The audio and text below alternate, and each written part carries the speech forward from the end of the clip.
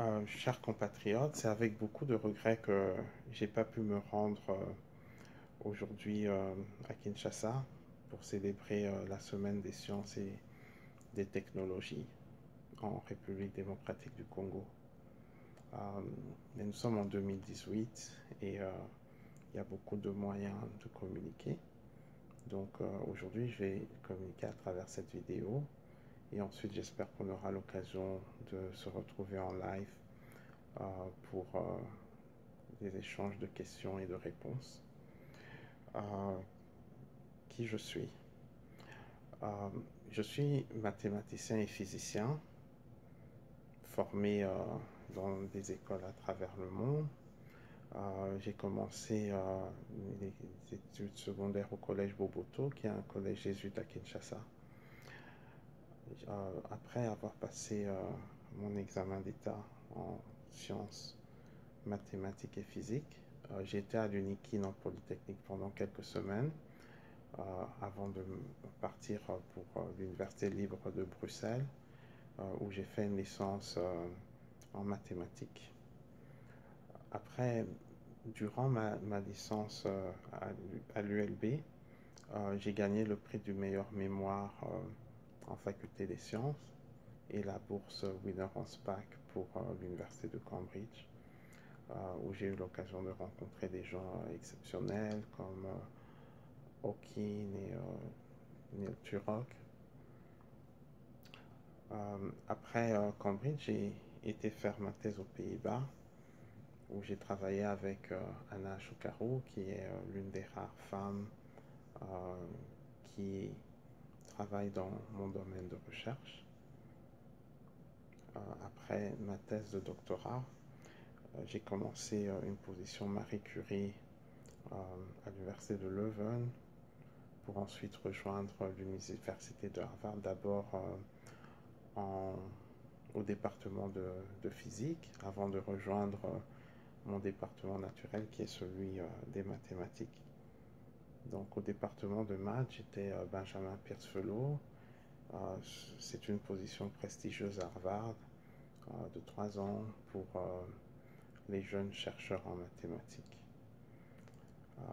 donc après Harvard, j'ai été sur le marché de l'emploi et finalement, après avoir choisi parmi plusieurs offres, je suis resté à Boston où je travaille à l'université Northeastern ce qui se trouve au plein centre de Boston.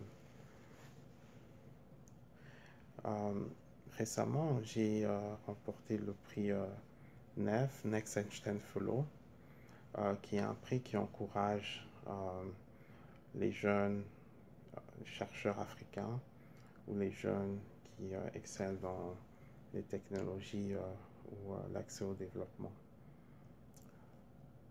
cette occasion, euh, cette, euh, ce prix euh, NEF était vraiment une occasion de rencontrer le reste de la communauté africaine, voir des jeunes qui excellent dans leur domaine et qui ont des parcours similaires aux miens. en fait, on se sent souvent isolé. Tout d'un coup, on avait ce sentiment de faire partie de quelque chose qui est plus que simplement la somme de ses parties. L'ambassadrice du NEF au Congo. Raissa Malou était aussi là. Et euh, c'était vraiment un plaisir et un honneur euh, de finalement la rencontrer en personne. Euh, pour nous qui sommes physiciens, mathématiciens congolais, son nom en lui-même est déjà un signe de fierté et d'espoir car on a tous grandi avec l'image du professeur Malou, un homme d'exception qui était en fait un fils euh, qui a aimé notre pays et qui l'a servi euh, jusqu'à ses derniers jours. Euh, aujourd'hui, le centre de mon action, c'est aussi l'éducation.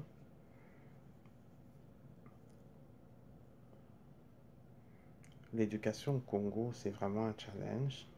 On a des endroits qui sont reculés dans notre pays où des gens n'ont même pas accès à de l'eau potable euh, et euh, se dire qu'il faut éduquer un pays dans ces conditions-là n'est pas évident.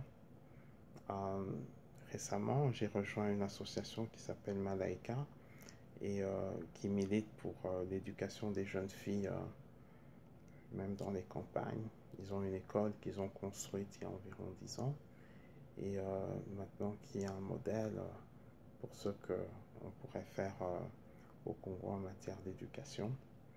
Donc avec Malaika, je travaille avec des filles qui ont plus ou moins 13 ans je les aide à consolider euh, leurs euh, connaissances en mathématiques et euh, à les mettre à un niveau où elles peuvent être dans une situation de réussite par rapport à la moyenne mondiale. Et en fait, on cherche un peu plus que ça. Nos meilleures étudiantes à Malaika, on aime se dire qu'elles feront partie des meilleures étudiantes à travers le monde tout entier.